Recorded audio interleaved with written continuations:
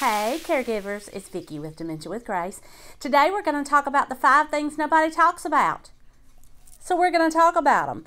Um, you know, everybody talks about memory loss as it relates to dementia, but other but people don't talk about the other losses that are related to dementia. So we're going to talk about that today. So hang on, we're going to get into it, okay? Thanks. All right. So what we're going to talk about today is the five things that nobody talks about um, that are also losses related to dementia. It's not just memory loss. Most people think that Alzheimer's type dementia, any other types of dementia, is only memory loss, only confusion. Um, that's all that, that they associate it with, but it's, it's other losses. And in some of the dementias, like Lewy body dementia or frontotemporal dementia, memory loss is secondary. Memory loss is, is on down the line. So the five things that I talk about um, are memory loss. It's M-C-C-J-R-I. It's the way I remember it. Memory loss, concentration, critical thinking, judgment, reasoning, and insight. Those are the other. So there is memory loss, and then there's the others, and I will I will I will um, drop them down below. But those things are also critical losses. Um, being able to reason, um, you know, it's you know, it's it's absolutely, uh, um, it's a it's a hard row to hoe if you were trying to reason with somebody with dementia. They just don't have the reasoning um, section of their brain. Um, they, you know, they have think about it. They have a broken brain, um, and they can't reason. They can't. It doesn't make sense to them. Um, reasonable explanations sometimes. You know, when they think, you know, they they've lost their billfold, let's say, and um, it's reasonable to them. It makes sense in their mind that their billfold was there and now it's not there, so somebody stole it. But that's not, you know, that's that's not the only conclusion that we can draw, right?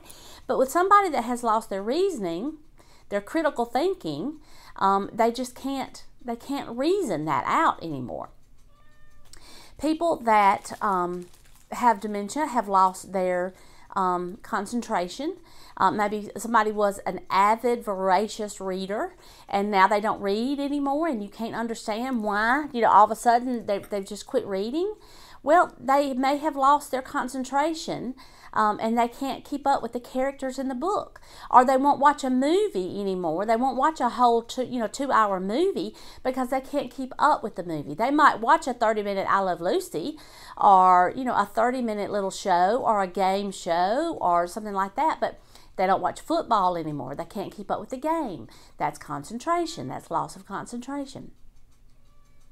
Insight is just um, their ability to understand what is going on with them um, and with the world around them. It's just the loss of insight. Um, and judgment is making poor judgments, leaving the stove on, leaving the water running, um, not eating um, their food in the refrigerator in time and then it spoils and then they don't have the judgment to know not to eat that because it's been in there for five days instead of two days or 10 days. So they don't have that judgment, reasoning, insight, concentration, critical thinking. So it's all, it's a lot more than just memory loss. It's not just memory loss. And the way I remember it again is MCCJR memory loss, critical thinking, concentration, judgment, reasoning, and insight. Those are the ways that I remember it. Here's the book behind me. I'll have a link um, to that down below. Um, you can get a copy of the book, and I go into all of this inside the book and lots and lots more. The book's focus is mainly behavior management because that's usually what I am most involved in now as a consultant. I get called when uh, people's behaviors are so bad that um, they can no longer be managed at home or they're in a facility and they can no longer be managed in the facility and people call me and they say, you know, we want to keep them in place. Um, what can we do with their behaviors? Well, I ended up writing a book about it, and so that's what the book Dementia with Grace is all about. So the link will be down down there below. Please leave me a, a, a, um, a comment. Let me know if these are helping. If there's something different that you need to know about, I am here to serve you. I want to meet your needs as a dementia caregiver. I want to make sure that I'm answering the questions that you have about your individual person. Um, and the only way that I'm going to know how to do that is if you leave me a comment. Jump on over if you need more support. Jump on over to Facebook. We have a robust Facebook support group. I'm inside there every day. I was in there this morning answering questions. And subscribe to this group and, and, and subscribe to this um, channel and hit the little bell too so that you're notified every time that I have a new video, okay? All right.